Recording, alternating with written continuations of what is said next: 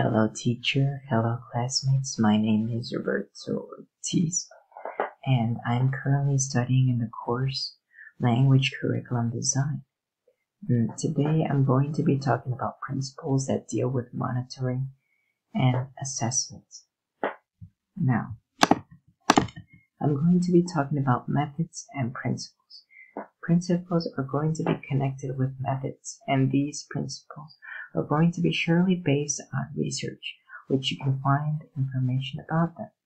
Now, a method is a procedure, technique, or a way of doing something. Well, in this case, it's a way of teaching.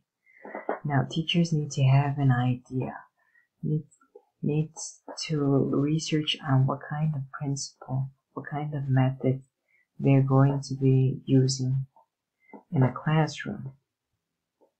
Now, based on the situation, of course, that they are countering with in a classroom.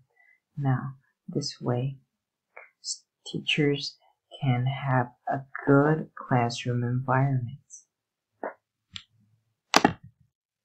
Now, there are 20 principles in total, but are divided into three groups.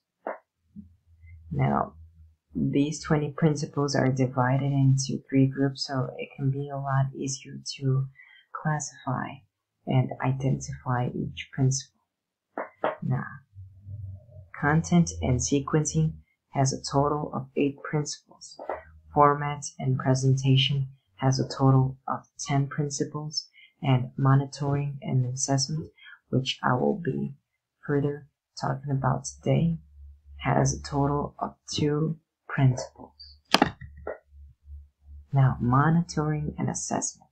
Now, monitoring and assessment is classified by two different types of principles. Now, the first principle we're, that we're going to be talking about is ongoing needs and environment analysis. What does this mean? Now, this means that teachers are going to be assessing the progress of their students. Teachers are going to be assessing the classroom environment which they are in. Teachers are going to be assessing the activities that they created for the students. They're going to be making an observation on if the activity is good for the students or if the activity is bad for the students.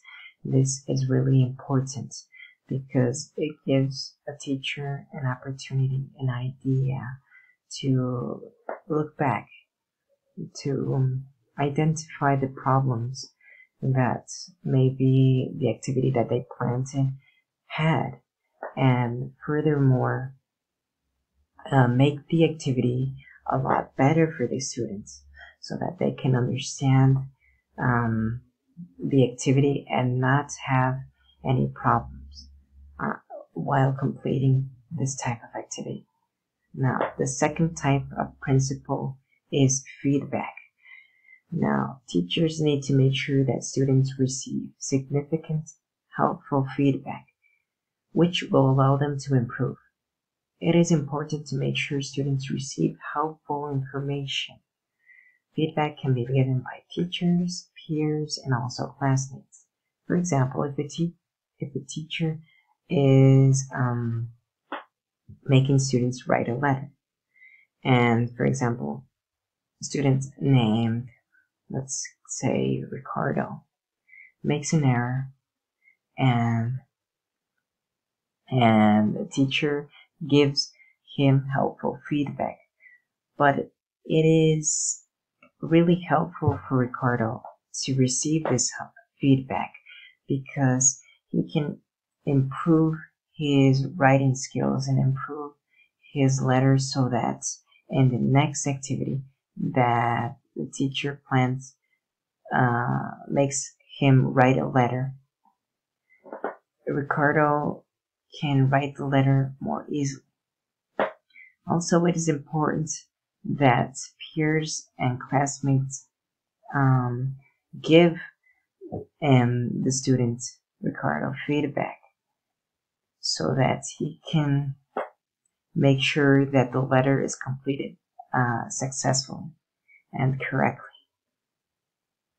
Now, in conclusion, I can say that teachers should follow these different types of uh, principles based on the situation that they are encountering with. So a teacher needs to research uh, on what types of um, principles that um, they need to be using. Okay, here is my bibliography that um, I used for this PowerPoint and for my presentation. Uh, thank you, teacher. Thank you, classmates. I hope you enjoyed. Uh, see you next time.